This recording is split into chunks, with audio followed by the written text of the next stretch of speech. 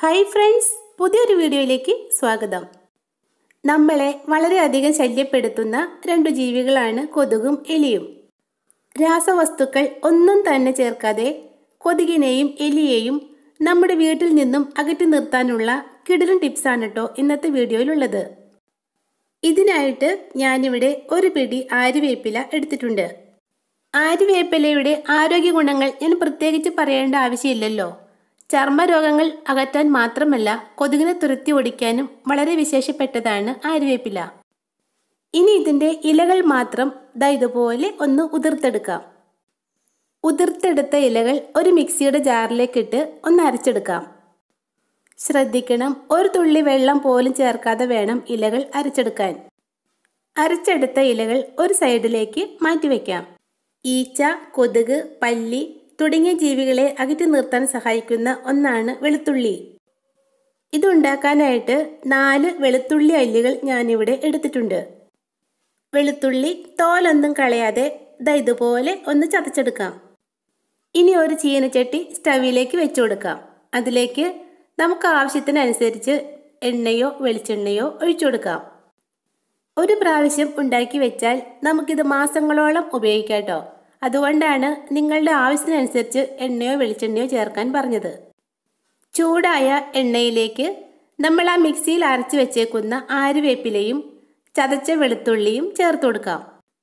Medium ഫ്ലെയിമിലിട്ട് നന്നായിട്ടൊന്ന് തിളപ്പിച്ചെടുക്കാം. പിന്നെ ഇടയ്ക്കിടയ്ക്ക് ഇളക്കി കൊടുക്കാൻ മറക്കണ്ട കേട്ടോ.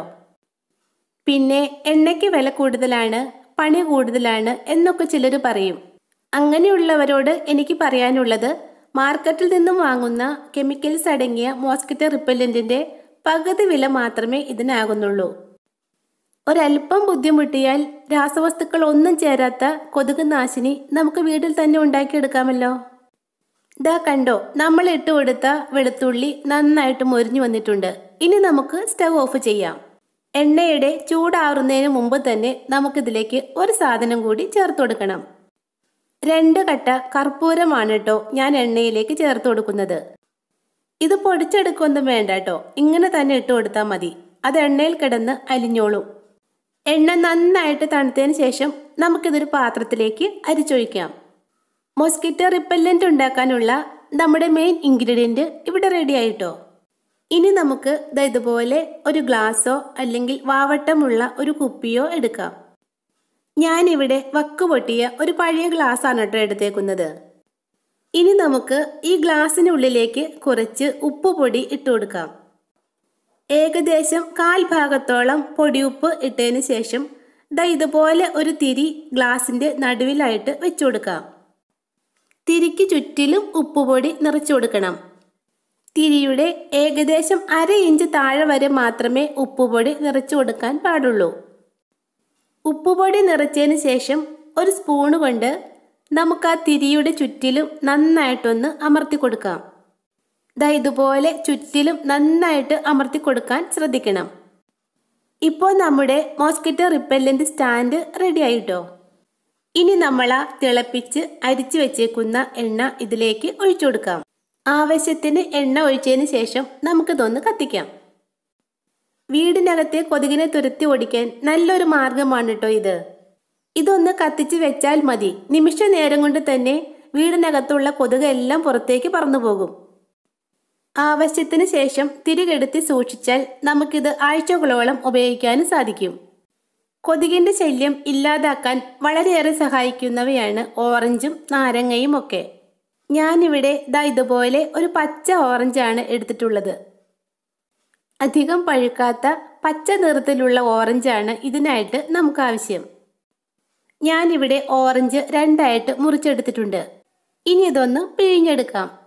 ഓറഞ്ച് പിഴിഞ്ഞതിന് ശേഷം അതിന്റെ ജ്യൂസ് നമുക്ക് കുടിക്കാം കേട്ടോ. നമുക്കിവിടെ അതിന്റെ തൊണ്ട് മാത്രമേ ആവശ്യമുള്ളൂ. ഓറഞ്ച് തൊണ്ടിനകത്തുള്ള വേസ്റ്റൊക്കെ കളഞ്ഞ് ദാ ഇതുപോലെ ഒന്ന് ക്ലീൻ ആക്കി എടുക്കാം ഇനി ഇതിലേക്ക് നമ്മൾ ആ വേപ്പിലയും വെളുത്തുള്ളിയും ചേർത്തുണ്ടാക്കിയ എണ്ണ ആവശ്യത്തിന് ഒഴിച്ചു കൊടുക്കാം. എണ്ണ ഒഴിച്ചതിന് ശേഷം ഒരു തിരിയിട്ട് കത്തിക്കാം. വേപ്പിലയും വെളുത്തുള്ളിയും ചേർത്തുണ്ടാക്കിയ എണ്ണ ഓറഞ്ച് തോലിൽ വെച്ച് കത്തിക്കുമ്പോൾ ഉണ്ടാകുന്ന സ്മെല്ല് കൊതുകിനെ തുരത്തി ഓടിക്കാൻ വളരെയേറെ ഫലപ്രദമാണ്. ആര്യവേപ്പിലയും വെളുത്തുള്ളിയും ചേർത്ത് കാച്ചിയെടുത്ത എണ്ണ കത്തുമ്പോൾ ഉണ്ടാകുന്ന സ്മെല്ലാണ് കൊതുകിനെ തുരത്തി ഓടിക്കാൻ സഹായിക്കുന്നത്.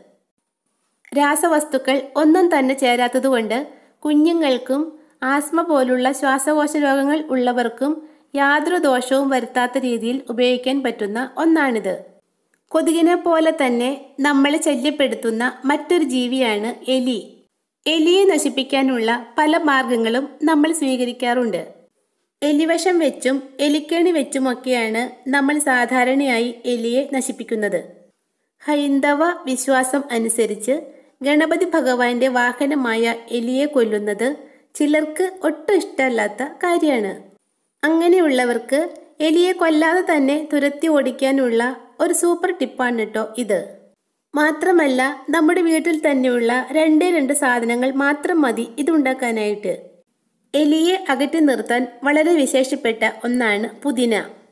എലിയെ മാത്രമല്ല മാത്രമല്ലാട്ടോ ഈച്ച കൊതുക് എന്നീ പ്രാണികളെ അകറ്റാനും വളരെ നല്ലതാണിത്.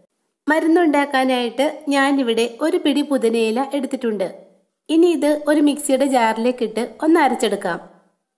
ഞാനിവിടെ വെള്ളം ചേർക്കാതെയാണ് കേട്ടോ ഇല അരച്ചെടുത്തത്. നിങ്ങൾക്ക് വേണമെങ്കിൽ വെള്ളം ഒഴിച്ചും അരച്ചെടുക്കാം. അരച്ചെടുത്ത ഇല ഒരു പാത്രത്തിലേക്ക് ഇട്ട് കൊടുക്കാം. ഇതുണ്ടാക്കാനായിട്ട് ഞാൻ എടുത്തിരിക്കുന്ന മറ്റൊരു ഇൻഗ്രീഡിയന്റ് ആണ് കുരുമുളക്. എലിശല്യം ഇല്ലാതാക്കാൻ വളരെയേറെ സഹായിക്കുന്ന ഒന്നാണിത്. ഞാനിവിടെ ഒരു വലിയ സ്പൂൺ കുരുമുളക് എടുത്തിട്ടുണ്ട്. ഇനി ഇത് നന്നായിട്ടൊന്ന് പൊടിച്ചെടുക്കാം. പൊടിച്ചെടുത്ത കുരുമുളക് കൂടി ഞാൻ ആ പാത്രത്തിലേക്ക് ഇട്ടു കൊടുത്തിട്ടുണ്ട്. ഇനി ഇതിലേക്ക് അര ലിറ്റർ വെള്ളം ഒഴിച്ച് നന്നായിട്ടൊന്ന് കലക്കിയെടുക്കാം. ഇനി ഇതാ ഇതുപോലെ ഒരു കുപ്പിയിലേക്ക് നമുക്കിതൊന്ന് അരിച്ചൊഴിച്ചു കൊടുക്കാം. കുപ്പിയുടെ അടപ്പിൽ ഒരു പിന്ന് കൊണ്ട് ഇതുപോലെ കുറച്ച് ദ്വാരങ്ങൾ ഇട്ട് കൊടുക്കാം. ഇനി ഇത് നമ്മുടെ വീടിനകത്തും പുറത്തും എലി വരാൻ സാധ്യതയുള്ള സ്ഥലങ്ങളിലൊക്കെ സ്പ്രേ ചെയ്ത് കൊടുക്കാം സന്ധ്യാസമയത്താണ് എലിയൊക്കെ പുറത്തേക്ക് വരുന്നത്. അതുകൊണ്ട് സന്ധ്യയാകാറാവുമ്പോഴേക്കും നമുക്കിത് മുറ്റത്തൊക്കെ ഒന്ന് സ്പ്രേ ചെയ്ത് കൊടുക്കാം. എലി ശല്യം കൂടുതലായി കാണപ്പെടുന്ന സ്ഥലങ്ങളാണ് കാർ പോർച്ചും അടുക്കളയുടെ ഭാഗത്തുമൊക്കെ അവിടെയൊക്കെ നമുക്കിത് സ്പ്രേ ചെയ്യാം. മണത്ത് മണത്ത് മുന്നോട്ട് പോകുന്ന ജീവികളാണ് എലികൾ. എവിടെയും മണം പിടിച്ച് മാത്രമേ ഇവ സഞ്ചരിക്കാറുള്ളൂ. എലിയുടെ ഒരു പ്രത്യേകതയാണിത്. അങ്ങനെ മണം പിടിച്ചു പോകുന്ന വഴിക്ക് നമ്മുടെ ഈ കുരുമുളക് കഷായത്തിൽ മണം പിടിക്കുകയും എലി വാലും ചുരുട്ടി ഓടുകയും ചെയ്യും. കുരുമുളകിന്റെയും പുതിനയുടെയും മണം തീരുന്നത് വരെ എലി പിന്നെ ആ പരിസരത്തേക്ക് പോലും അടുക്കില്ല.